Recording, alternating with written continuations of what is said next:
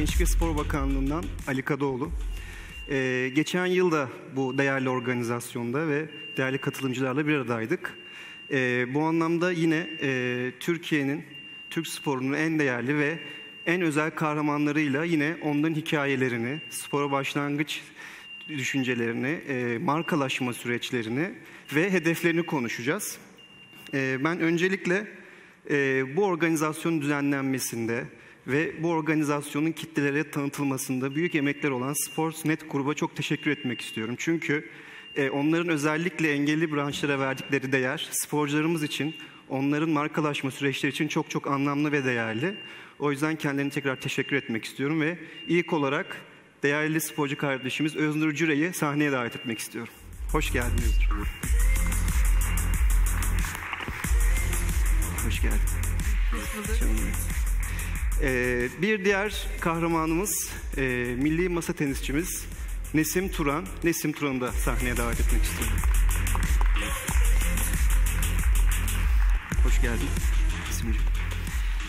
Ee, böylesine özel ve anlamlı bir organizasyonda tekrardan birlikte olmak ve e, sizleri en iyi şekilde kitleye tanıtmak aslında bizim için çok çok büyük bir mutluluk vesilesi. E, teşekkür ederiz geldiğiniz için, katılımınız için.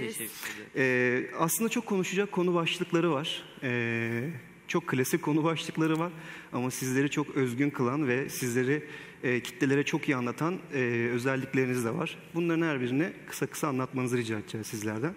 Öncelikle Öznur'la başlamak istiyorum.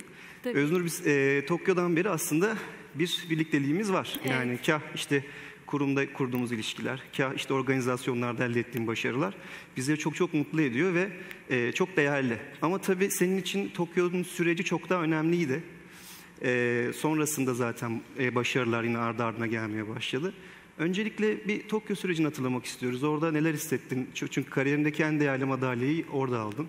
Neler söylemek istersin? Ee, aslında e, Tokyo 2020 Paralimpik oyunları e, her sporcunun hayali. Zaten olimpiyatlar zirve. Her sporcunun istediği tek noktadır. Ee, tabii benim de 13 yaşından beri e, en çok istediğim ve olmak zorunda hissettiğim yer orasıydı diyebilirim. E, çünkü 14 yaşından beri bunun hayalini kurup onunla yatıp onunla kalkan biriydim. E, okçulukta 2018'den bu yana çok büyük emekler sarf ettik. E, sadece ben demiyorum e, çünkü arkamızda kocaman bir ekip var. E, çok fazla insan çaba sarf ediyor. Ama bu süreçte tabii ki bir, biraz da e, isteme hırsı, biraz da işte madalya isteği olunca ister istemez sporcular biraz daha üzerinde e, kendi kendine yarattığı e, stres ve heyecandan oluşan e, bir olgu yaratıyor kendi üzerinde. O süreçte bir sakatlık geçirdim ben. Omzumda bir sakatlık yaşadım. E, tabii bu beni biraz yıktı açıkçası çünkü gece artık uyuyamıyordum. İşte geceleri kalkıp böyle ağlamaya başladım falan. Ee, ve tek düşündüğüm olimpiyatlar, paralimpik oyunları. Yani dedim ki ben orada olmalıyım. Daha o zaman kotam bile yoktu. Yani kota yarışmaları için yarışıyordum. Daha sonrasında e, çok güzel bir tedaviyle geri döndüm. E, hiç unutmuyorum Çekya'da 7 Temmuz benim doğum günümdü. O gün de benim kota yarışmam. Ya dedim ki var ya benim olacak yani burada olacak diye düşündüm hep. Ve o gün e, kıl payı kotayı kaçırdığımı düşündüm. Yıkılıyorum ya diyorum ki hani doğum günümde diyorum ya yani kendime verebilecek en iyi hediyeyi kaçırdım. Ve diyorum nasıl yapacağız, nasıl edeceğiz? Meğersem almışız, haberimiz yok. İşte ben böyle üzgün üzgün oturuyorum. İşte arkadaşlarımı bir yandan da desteklemeye çalışıyorum. Çünkü dediğim gibi yani bu bir ekip işi. Yani ben o maçı orada kaybetmiş olsaydım bile arka planda arkadaşlarımı desteklemek zorundayım. Çünkü onlar benim yoldaşım. Yani ben alamasaydım eğer eminim ki onlardan biri orada olup o madalyayı alıp ülkemizi gururlandıracaktı. O sırada bana koşan hocam böyle işte Öznur, Öznur aldık falan görmeniz lazımdı. Ben de işte o ara böyle işte kuru yemiş falan atıştırıyoruz böyle arkadan düşün. Hiçbir şey yiyemedim çünkü o anda. Dedi ki kotayı almışsın. Ben "Aa, böyle elimde ne var ne yok böyle yukarıya fırlatıyorum. Allah böyle inanamıyoruz ama yani dehşet bir haberdi. Daha sonrasında tabii artık diyorum ki evet oldu. Yani herkes şey diyor bana Özür ya hani bir insan doğum gününde en fazla kendine ne verebilir? Yani sendiler en üstünü artık verdin yani kendine. O yüzden biz sana hiçbir şey yapamıyoruz, edemiyoruz hani beğenmezsin diye. Olimpiyat benim yolculuğum böyle başladı. Tabii artık kota aldık. Daha fazlası olması gerekiyor. Ee, sadece e, benimle olan bir şey de değil bu yani çevrenin tepkisi, etkisi, e, bu spora olan ilgi, alaka bunların hepsi bizi çok tetikliyor. Ee, özellikle paralimpik anlamında yani açıkçası şöyle paralimpiğin ne olduğunu hani sorsak ne yazık ki birçok insanımız bunu cevaplayamıyor. Ee, çünkü e, ne yazık ki araştırma yapamıyoruz. Böyle bir sıkıntımız olduğunu düşünüyorum ben açıkçası. Siz nasıl düşünüyorsunuz bilmiyorum ama yani ben de paralimpik dediğimde dönüp ya paralimpik nedir acaba? Belki şu an telefondan araştıran var mı bilmiyorum göremiyorum ama yani ne yazık ki böyle bir durumla karşı karşıyayız. Ee, bu yüzden biraz daha çevreyle hani işte savaşmaya başladık. Hani işte biz buradayız. Biz e, paralimpik bir milli sporcuyuz. Tabii ki evet engelimiz var, yok değil. Ama olmasaydı bile biz yine bu ülke için, kendimiz için bu hayatta her daim savaşacağız ve kazanacağız. Tek farkı e, tekerlekli sandalye olup bu sporu yapmak. Tek farkı bu. Aynı çaba, aynı özveri, aynı istikrar, aynı hırs ve aynı madalya. Bir farkı yok. Aynı madalyadan bahsediyoruz. Tabii e, bu sporcunun hani geriye dönük daha farklı şeyler oluyor. Yani mesela atıyorum normal bir sporcu işte sponsorluk aramazken işte biz ister istemez hani bu destekleri aramak zorunda kalıyoruz. Çünkü dediğim gibi yani çok fazla tanınmadığı ve bilinmediği için açıkçası bu sıkıntıları yaşıyoruz. Ama 2020'den sonra e, çok büyük etkileşim oldu. Özellikle e, hep şeyi söylerim yani benim ilk uluslararası madalyam olimpiyat madalyamdır. Belki şey der ya Özür nasıl olur böyle hani ilk önce bir Avrupa madalyan olur, bir dünya madalyan olur. Senin nasıl bir anda olimpiyat madalyası oldu? Yani isteyince oluyormuş demek ki. Ee, böyle olması gerekiyormuş. 2020'de e, Tokyo Olimpiyatlarında Bülent Korkmaz ile mix atıyoruz. Tabii o esnada da hep böyle şeyiz yani arkadaş da abi nasılsın? Diyor ki iyiyim sen, iyiyim sıkıntı yok değil mi? Yok yok devam. İşte ilk önce sen mi atacaksın ben mi atacağım? O bana soruyor. Abi nasıl istersen öyle olsun. Sen yeter ki rahat et diyorum. Nerede? Önde, arkada, ilk, son. Ee, dedim ki ya bak bende hiç, hiçbir sıkıntı yok. Her türlü atarım. Yeter ki atalım. Ondan sonra şey deriz böyle işte şarkı söyleyeyim mi? Sakın. yani mesela bu diyaloglar çok önemli. E çünkü dediğim gibi takım olmak bunu gerektirir. Yani takım arkadaşınla yürekten ve içten seviniyorsan eğer o yolda gerçekten bir şeyler yapmışsınızdır. O esnada işte yarı finalde rekor kırmışız. O kadar benim kafam gitmiş yani. Adrenalin yüzde 200 nabzımı ölçüyoruz yüzde 75 yani yüzde 75 nabız olur mu ya? Yüzde 75 yani. Biraz daha atsa artık böyle kalp duracak yani. Rekor kırdığımızı öğrendiğim an dedim tamam ya olacak. Hep böyleyim yani tamam ya bu da oldu şimdi daha ilerisi olacak. Hep de şey deriz yani doymayız yani hep daha bir Üstüne üstün katarak. isteriz. İşte altın e, madalya maçında açıkçası biraz anlayamadık yani o e, olayın sarhoşluğu mu diyelim ya da artık e, psikolojik olarak çünkü bazı anları hatırlamıyoruz. Yani ne yaptığımızı hatırlamıyoruz. Çünkü benim ilk madalyam yani. Ben hani olimpiyatlara ilk kez çıkmışım, ilk kez altın madalya atıyorum falan. Benim şuur gitmiş zaten. Daha sonrasında orada bir, bir, bir puanla kaybettik. Gümüş madalya aldık. Ama hep şunu söyledik. Oturduğumuzda mesela konuştuğumuzda takım eşimle. Olsun. Çok iyi maçtı. Çok iyi direndik. Artık 2024'de. Böyle başladı. e, aslında burada en önemli şeylerden biri istikrar ve Evet. sen o istikrarın başlangıcını as- aslında yaptın. Şimdi Özgür'ün e, bıraktığımız yerden devam edelim Nesim. Aslında az önce çok önemli bir şeye temas etti. E, farkındalık. Yani sizler için bence anahtar kelime farkındalık yaratmak ve bu farkındalığı da ortaya kayan çok önemli anekdotlara sahipsiniz. Özellikle sen.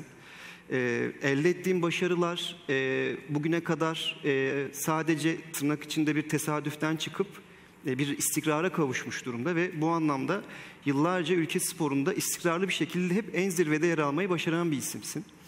E, bu farkındalığın sağlanması özellikle toplum nezdinde, ülke sporu nezdinde sizlerin çok çok daha özel bireyler olduğunu ama salt başarı özelinde özel bireyler olduğunuzu gösteren önemli başarılar elde ettiniz. Yani bu işin hani evet çok önemli ve klasik bir cümledir belki engeli aşanlar engeli aşarak yani biz haberleri bile öyle yazarız işte engeli aşarak e, işte sporla birlikte bir hayatını kurtardı vesaire ama artık bu klişe ifadelerin bile üstüne çıkarak bambaşka bir e, boyuta ulaştınız. Yani bu e, bazen sarf ettiğiniz bir cümleyle, bu e, yaptığınız bir hareketle bazen de e, duruşunuz da ortaya çıktı. E, sen de bu anlamda e, bana göre sizin camianın en önemli simgelerinden birisin. Bu farkındalığın ortaya konması ve kendini kitleleri iyi, iyi ifade etme noktasında sen nasıl bir değişim yaşadın? Özellikle Tokyo'dan sonra. Ee, öncelikle merhabalar. Gerçekten burada olmaktan son derece mutluyum. Ee, davet için teşekkür ederim. Ee, gerçekten hani e, bazen bazı durumlar anlatmak e, kolay olmuyor ya. Şu anda öyle bir durumdayım ve şunu söylemek istiyorum. Ben kendimi tanımlarken hani farkındalık boyutunu daha iyi e, açıklamak için söylüyorum. Ben kendimi tanımlarken şöyle tanımlıyorum. Ben engelli bir sporcu değilim. Ben bu ülkeyi başarıyla temsil etmiş, nice madalyalar almış bir milli sporcuyum. Benim tanımım budur. Yani kendimi tanım, tanımlayabileceğim en iyi cümle hep bunu böyle de. Çünkü biz ne yazık ki demagoji ve ajitasyon üzerinde bir e, algının da olmasını istemiyoruz. Biz milli sporcuyuz. Engelli tek farkımız Öznur'un dediği gibi kimi tekerlek sandalyede, kimi koltuk değneğiyle, kimi gözler görmeyerek, kimi kulaklar duymayarak bu e, alanda yarışmalar düzenliyoruz. Ve unuttuğumuz bir realite var. Paralimpik oyunları dünyanın en büyük ikinci spor organizasyonudur. Yani dünyanın çok ciddi bir şekilde farkında olduğu ve bazı şeylerin e, çok daha kıymetli olduğunu gösteren en büyük spor organizasyonlarından birisidir. E, tabii Tokyo süreci çok farklıydı. Yani e, ben 2014'te dünya şampiyonu olduktan sonra katıldım bütün turnuvalarda Başarım 2010'dan itibaren devam ediyor istikrar bazında. Katılım her turnuvada e, şükürler olsun ki madalya aldım. Yani hiçbir boşluğum yok. Yalnız 2014'te dünya şampiyonu olduktan sonra kendime hep şu hedefi koydum. E, şampiyon olmadım her turnuva benim için başarısızlıkla sonuçlanmıştır gibi bir e, duruma geldim işin açıkçası. E, Tokyo'da tabii ki giderken hedef altın madalyaydı. Bronz madalyayla kapattım. Ama tabii olimpiyat veya paralimpik madalyasının ne kadar kıymetli olduğunu Türkiye'ye döndükten sonra daha bir iyi anladım. Çünkü yani gerçekten evet ya biz güzel bir iş yapmışız algısıyla e, farkındalık ve diğer insanlara e, rol model olma yolunda e, bir adım daha atmış olduğumu düşünüyorum Tokyo'dan sonra özellikle. E, farklı bir konuya geçmeden önce senin e, ülke spor anlamında da e, bizim iletişim sektörü içinde e, ilk olan bir projeni anlatmanı rica edeceğiz aslında. Ben bir kısa bir girizgah yapayım.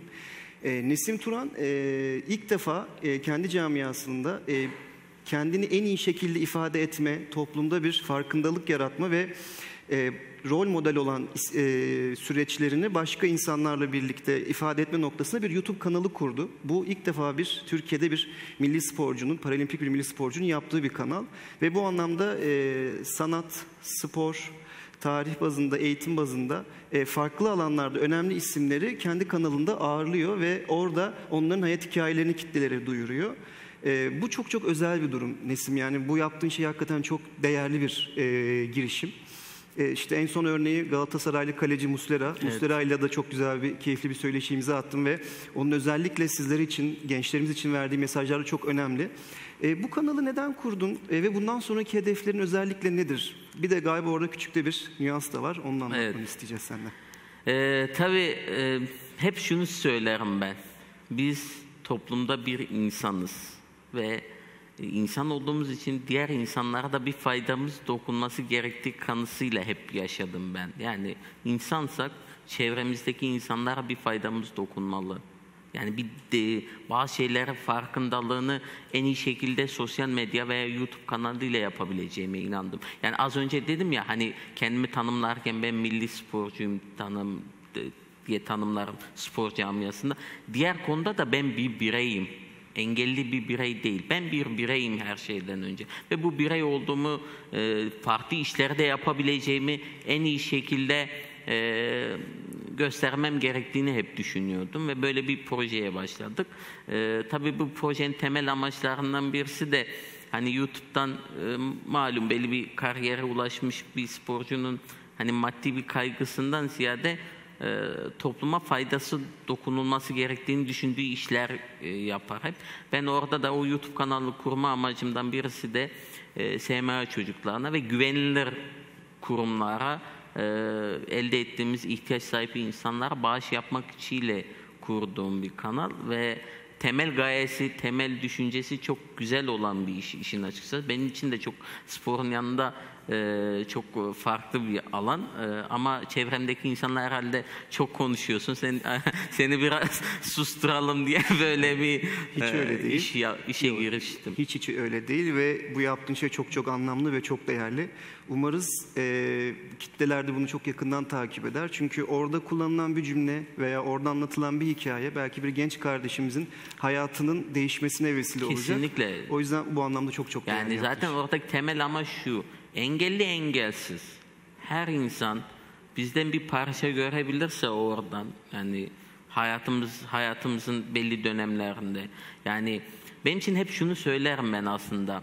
Benim için en büyük madalya ya da işte hayatının en büyük başarısı ne diye sorduklarında hep şu örneği veririm.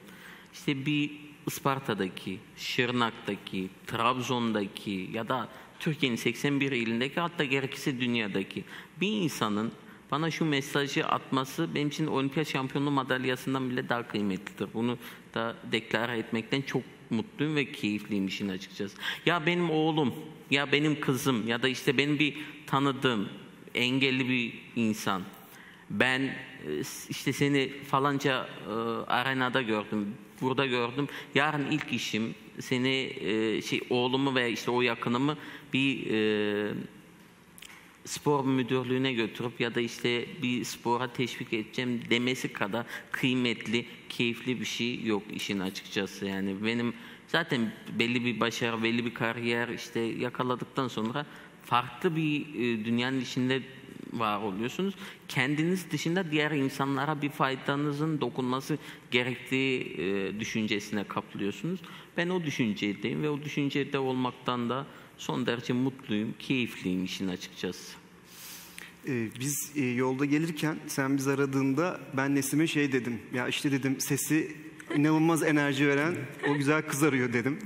Ve her sesini duyduğumda da hani Nesim'le de yolda gelirken onu konuştuk. Biraz kulaklarını çınlattık senin. Enerjin inanılmaz yani o Ayze'den bile çıkıyor ve bize kucaklıyor adeta. E, bambaşka bir hayat hikayem var. E, spora başlama sürecin, hayata başlama bu anlamda hani sporu hayatında bir mihenk taşı olarak bir e, ortaya koyman ve beraberinde de e, yaşamı bu anlamda sırtlanman. Çok çok özel bir hikayem var bu anlamda ve e, insanların da aslında tamamen örnek alması gereken bir hikaye. Ben bunu tırnak içinde bir azim olarak e, hikayem. Hoş geldin İsmail bu arada. Merhaba, estağfurullah İsmail. Malum Merhaba. bir İstanbul trafiği azizliği olarak İsmail tanıştık. İsmail hoş geldin. Hoş bulduk abi. Nasılsın? İyi sen de iyisin inşallah. Çok sağ olun. Ee, devam ediyoruz hemen Öznur'dan. Tekrardan sana geleceğiz. Dediğim gibi müthiş bir e, azim hikayesi var. Aslında seni özetleyen şey bence azim. Ve bu, bu azmin üzerine de işte sporla birlikte başarıyı da ekledin. Ve bu devamı geliyor. Bu anlamda senin vereceğin mesajlar aslında çok önemli ve çok özel. Ee, özellikle aileler açısından. Ee, hani e, ailenle de alakalı işte az önceki de konuştuk. Anneni de spora başlattın. Ee, sizler için özellikle e, Cüre ailesi için spor ne anlam ifade ediyor ve sen bu anlamda ailelerine gibi mesajlar vermek istersin? Ee, öncelikle şunu söyleyebilirim. Ee, ben spora 13 yaşında başladım. Ee, hatta spor hocam Nafia'ydı tekvando sporuyla uğraşıyordu. Ve sınıfta sadece bir kere tekme attım. İşte e, bir, bir raket vardı elinde ve sadece ona tekme attım. Akşamına anneme gidip demiş ki işte bak e, orada da çok kiloluyum bu arada yani. Gerçi biraz zayıflamış biliyorum ama. Hiç öyle değil. Yani çok dehşet kiloluyum ve artık böyle hani obezite doğru gidiyorum. Ve içime kapanmaya başladım yavaş yavaş. İşte böyle erkek kıyafetleri giyiyorum. Ee, artık böyle herkese sert tepkiler gösteriyorum.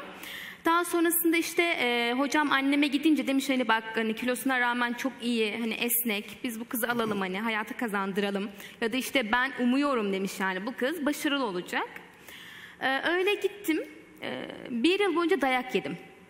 Abartısız söylüyorum bu arada. Bir yıl boyunca e, bildiğim beni böyle ortaya koydular. İşte ben, hani o geliyor vuruyor böyle yuvarlanıyorum. Kalkıyorum orada biri vuruyor tekrar yuvarlanıyorum kalkıyorum falan. Bir yılın sonunda e, inanılmaz ilerledim. Artık vücudum kendi şeklini almaya başladı. Özgüvenim kendimi tanıyamadım özgüven anlamında. Ee, cesaretim, e, akıl ve zeka e, ve her şeyden önce kendinize verdiğiniz o sakinlik çok önemli. Yani işte orada benim ailemin yani ailelerin çocuklara verdiği destek çok önemli.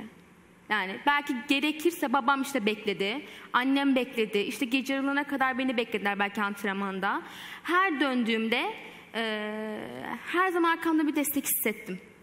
Daha sonrasında biz işte kaza geçirdik 2014 yılında. Ee, Çok kısa keseceğim oraları. Ee, işte orada annemle biz işte yaralandık. Ee, Artık biliyorsunuz annemin işte boynu kırıldı, benim be- belim kırıldı ve- işte vesaire. Orada da tabii annem de spor yapıyor bu arada yani. İşte e, diğer kardeşlerim de yapıyor falan ama artık böyle tam profesyonel anlamda ben vardım içlerinde. Daha sonrasında işte kaza geçirince malum hani aileden iki kişi öyle olunca biraz tabii hani açılmak zorunda kalıyorsunuz. Biraz daha bir şeyden hani feragat etmek zorunda kalıyorsunuz. Çünkü hayatın kuralı bu. Yani sadece bu benim başıma gelmedi. Bu herkesin başına gelebilirdi bu arada. Yani işte ben bunu yaşadım, atlattım, wow değil yani. Bu herkesin başına gelebilecek bir olay. Durum bu. Yani sorsanız kaç saniye gerek sürer? yok. Yani abartmaya gerek yok. Tabii Kesinlikle. şöyle insan psikolojisi olarak bunu hazmetmek zor. Bunu tabii ki kabul ediyoruz. Sonuçta her birimiz bunu sorguladık. Ee, bu süreçten geçtik. Ama işte o süreçten sonra benim ne yapabildiğim önemli. Her şeyden önce kendi adıma. Daha sonrasında işte annemle konuştum. Annem ben dedim spora başlayacağım. Tekrar ben dedim yapamıyorum. Dedi işte okçuluk. Dedim ki yapacağım. Dedi kızım nasıl gidip geleceksin dedi. Giderim dedim ya ne olacak her şey herkes dedim otobüse binip gidiyor. Ben de binerim dedim giderim dedim ya. Otobüsten mi düşmedim? Yağmurda mı ıslanmadım? Dedim ki gideceğim ya. Gideceğim. Herkes ıslanıyor. Herkes yani bunu yapıyor. Daha sonra işte ben okçuluğa başladım ve e, annemi yıllar sonra e, ablam bakıyor bu arada anneme. Onların hayat hikayesi çok çok farklı yani benden çok çok daha ilerideler. Boçça sporuna başlattık. Uzun zamandır yani mesela annem e, şu anda çok çok daha iyi ve galiba geleceğin milli sporcularından ve yani düşünsenize ben çık işte o benim annem falan diye böyle gururlanıyorum düşünsenize. Aynen de baksana benim annem falan diye yani. Yani dediğim gibi sporun yaşı yok ve tüm aileler, tüm ebeveynler çocuklarına gerçekten bu arada engelli engelsiz çocuklarına katkıda bulunsunlar. Çünkü her şeyden önce insan kendi karakterini oluşturuyor. Bakın bu çok önemli. Çocuk oturduğu zaman sizinle bir cümle kurması gerektiğinde ne yapması gerektiğini biliyor. Heyecanlanmıyor, böyle işte takılmıyor ya da ne yapacağını bilmemezlik değil yani. Bu tamamıyla özgüven. Ve hayatına dair yolculuğa çıkıyor. Bu yüzden her ebeveynin, her ailenin mutlaka ama mutlaka çocuklarını bir spora vermesi gerektiğini düşünüyorum. Çok çok teşekkürler. Çok anlamlı bu söylediklerin. Sevgili İsmail tekrar hoş geldin. Hoş bulduk abi. Ee, sevgili İsmail Korkmaz, ampute futbol milli takımımızın e, gururlarından. Ee, en son e, Türkiye düzenlenen Dünya Ampute Futbol Şampiyonası'nda e, şampiyon kadronun en değerli isimlerinden birisi. Ee, İsmail çok çok sağ ol. Bizleri kırmadın. Bu değerli organizasyonla bizlerle birlikte oldun. Ee, öncelikle e, gerçekten çok da büyük bir gururdu. Yani e, final maçında hep birlikteydik, oradaydık. E, binlerce e, milli takım taraftarımızla birlikte orada sizleri gönülden destekledik ve ortada çok büyük bir tarihi başarı ortaya çıktı. Öncelikle onu sormak istiyorum. E, şampiyonayı biraz bize değerlendirir misin? Süreç nasıl başladı? Sonuç zaten muhteşem. Neler söylemek istersin? Ee, öncelikle biz 2018 yılındayken en son oynadığımız rakibimize orada Polonya'da yenilmiştik. Ee, Osman hocamız e, atamayıp orada bizi mağlup ettiler, etmişlerdi. Biz yaklaşık 8-9 ay boyunca hiç durmadan e, kamplarda, o sıcaklarda durmadan çalıştık. Yani yeri geldi evim, şey, elimizin içi, ayağımız, her yerimiz patladı o sıcakta. Ama biz yılmadık. Biz böyle e, zorlu maçların olduğunu biliyorduk. 2018 yılında bunlar bizi yendi, yem, yendiyken yenmişlerdi. E, bizde çok alay etmişlerdi. Biz de bunun intikamını bir türlü almamız lazımdı. O yüzden Osman hocamın sayesinde sağ olsun her kamplarda bizi e, çok iyi çalıştırıp çok iyi hazırladı. İşte e, sağ olsun e, Cumhurbaşkanım olsun, federasyon başkanımız olsun bizleri her zaman yanımızda oldu. Kapıları açtı. En iyi yerde çalıştık, en iyi yerlerde durduk. E, şampiyonluğa gelince çok iyi rakiplerle oynadık. Ama az önce dedim ya işte Allah onların mükafatını bizi sahalarda verdi. Çok iyi oynadığımızı düşünüyorum ben. Onlar e, zaten maça başladığımızda zaten bir bir beraber ilk yarı zaten bitti. İkinci yarı başladığımızda çok iyi performans gösterip Osman hocamın sayesinde sağ olsun bize çok iyi motive edip onları devirmeyi bildik yani intikamımızı aldık diyorum yani. Sadece müzemizde Dünya Kupası eksikti abi. Onu, onu getirdik yani. Biz tüm Türkiye armağan olsun diye her zaman bu yüzden çalıştık yani. Artı e, Türk halkı, halkımız, büyüklerimiz, kardeşlerimiz zafere her zaman hak ediyor. Bir gün değil her gün yani. Evet, az önce sen e, gelmeden hani sporcularımızla sohbet ederken e, önemli e, başlıkların altını çizerek e, devam ettik. Aslında buradaki kritik konulardan biri de motivasyon. Yani sizler e, bu işin motivasyon sürecinde de e, uzun yıllar tecrübe edinmiş isimlersiniz ve e, motivasyon ne kadar önemli olduğunu en iyi bilenlerdensiniz. E, şampiyonada size en, en çok motive eden şey ne oldu? En çok her kampımızda Osman hocam e, bizim odalarımıza Dünya Kupası'nın fotoğrafını koyuyordu. Yani sadece ona bakıyorduk yani. Yani yeri geliyordu. Az önce işte kardeşim söylüyor ya hani hayal kurmadan hiçbir şey olmuyor. Yani ona bakıp odaklanıp hayalini kurmak.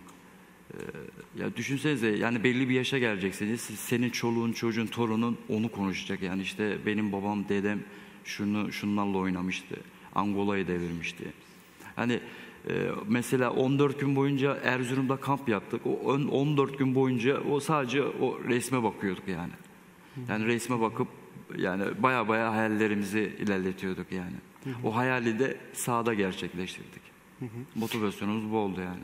Bu çok çok anlamlı bu söylediklerim ve aslında bütün bu başarıların e, özelinde de verilen destekler, verilen imkanlar e, önemli diye düşünüyorum. Yani üçünüzün de bence hani ortak noktada katılacağınızı umduğum en önemli başlıklardan biri de hani özellikle Gençlik ve Spor Bakanlığı'nın size sunduğu katkılar.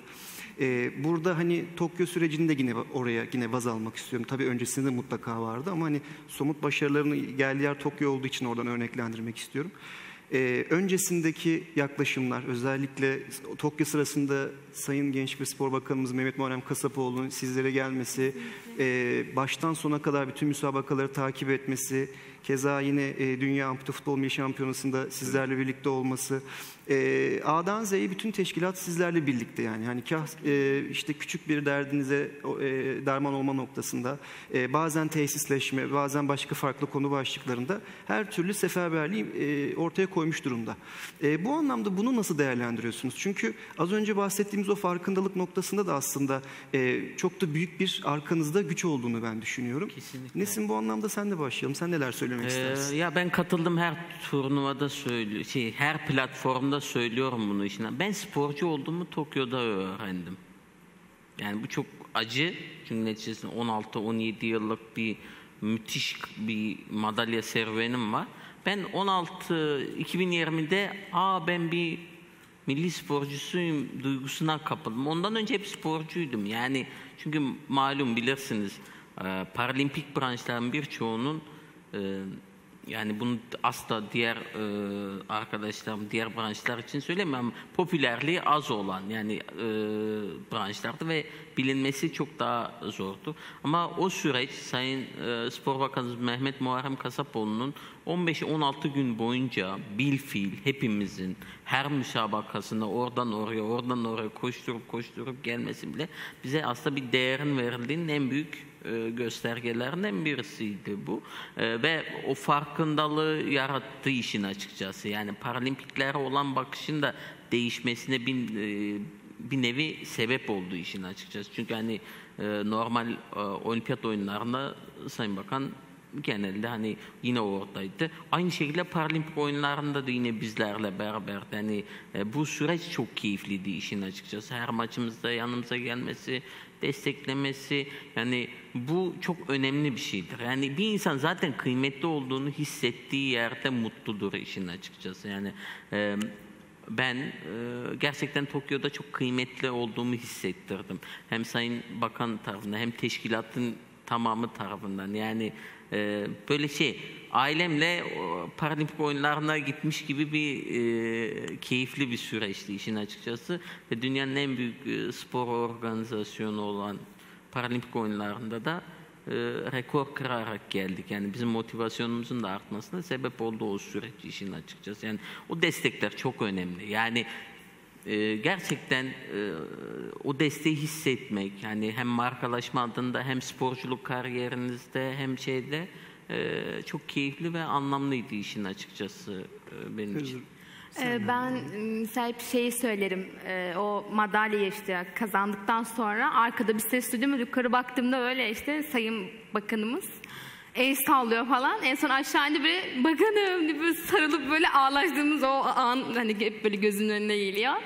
Ee, olimpiyat öncesi de kampımızı ziyarete gelmişti. Ee, orada da yine birkaç sohbetimiz oldu. Ve biz hep şey demiştik hani orada olacak mısınız bakanım? Dedi ki her daim orada olacağım. Ee, siz hani beni görmeseniz de mutlaka ben sizi arkadan bir yerde izliyor olacağım derdi. Ve ben orada gördüm yani çünkü ben onun e, orada olduğunu da bilmiyordum yani bakanımızın. Hani o heyecanla o hiçbir şey görmüyorsunuz zaten. O an bittikten sonra oraya gelip yani bana sarılması daha sonrasındaki zaten ekip mükemmel yani mükemmel işte videolar hazırlanıyor. Herkes bizden daha heyecanlı, daha özverili. Yani hep söylemiştim zaten madalyayı bir kişi takıyor ama arkada kocaman bir ekip var.